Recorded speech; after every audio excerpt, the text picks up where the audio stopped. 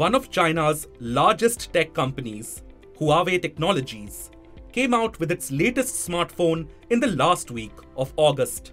Mate 60 Pro is being billed as China's answer to the US's iPhone. And experts believe, through this phone, China has also sent across a message to the West that sanctions can be counterproductive. And the devil, as they say, is in the details. It's not the phone, but a tiny part which has sent out shockwaves. At the heart of Mate 60 Pro is an advanced system on chip processor, or 7 nanometer semiconductor chip. It has led to hushed concerns in the US. And it is believed that the chip was manufactured by Semiconductor Manufacturing International Corp, or SMIC, a partly Chinese government owned semiconductor foundry company. This has been the most advanced chip that SMIC has ever produced.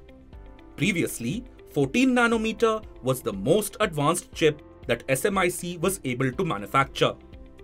In October last year, US President Joe Biden had announced curbs on shipments of semiconductors used for artificial intelligence and chip making tools. The Netherlands and Japan too joined the US. The aim was clear to make sure that China is not only deprived of the advanced chips, but also of the tools to make them. And in 2020, the US barred SMIC from acquiring the extreme ultraviolet lithography technology from Netherlands based ASML, which is critical in manufacturing 7 nanometer chips. But despite all the odds, SMIC producing an advanced chip suggests that China has been making progress in building a domestic chip ecosystem. So, is China winning the chip war against the West? These sanctions will not have any impact on China. China will grow.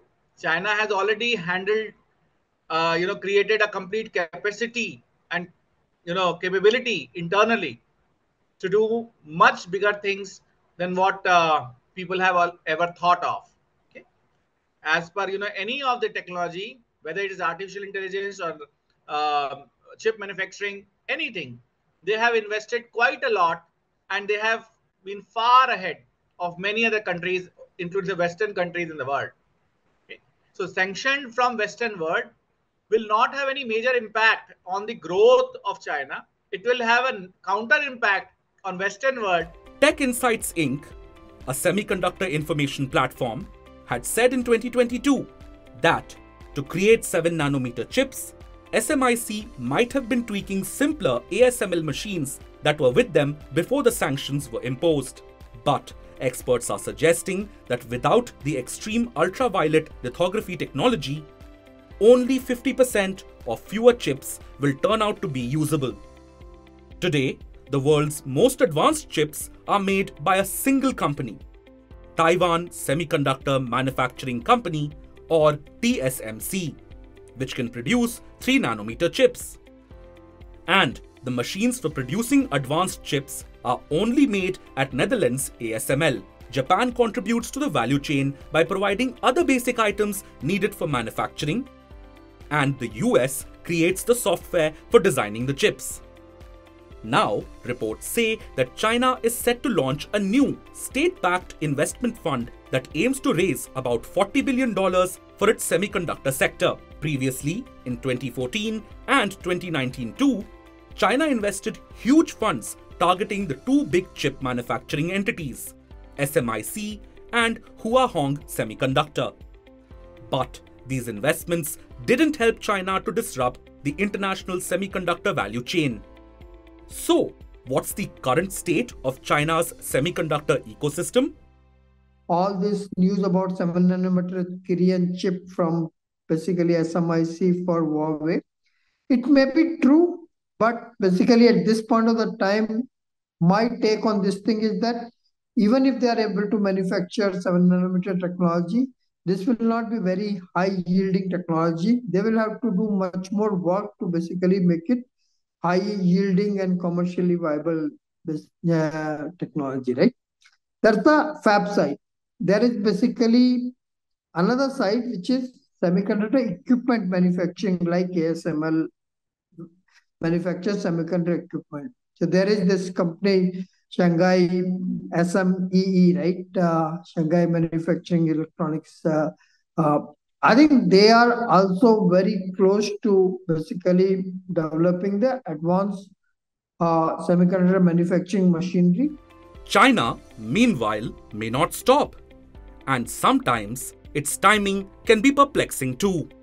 The Huawei phone was released during the visit of the United States Secretary of Commerce, Gina Raimondo. Her department was responsible for all the tech sanctions.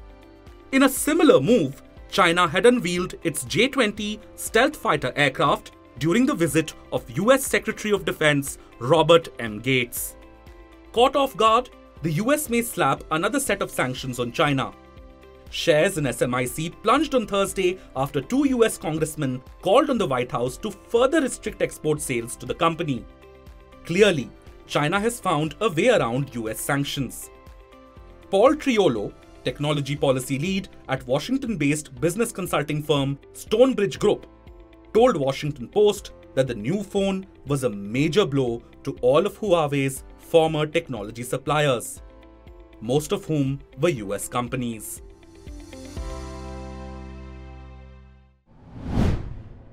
If you like this video, share it and subscribe to Business Standard for more news, views, and insights, log on to www.business-standard.com. Do also follow us on YouTube, Twitter, Facebook, Instagram, Telegram, and LinkedIn.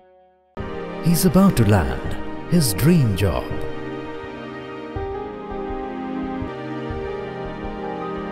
Business Standard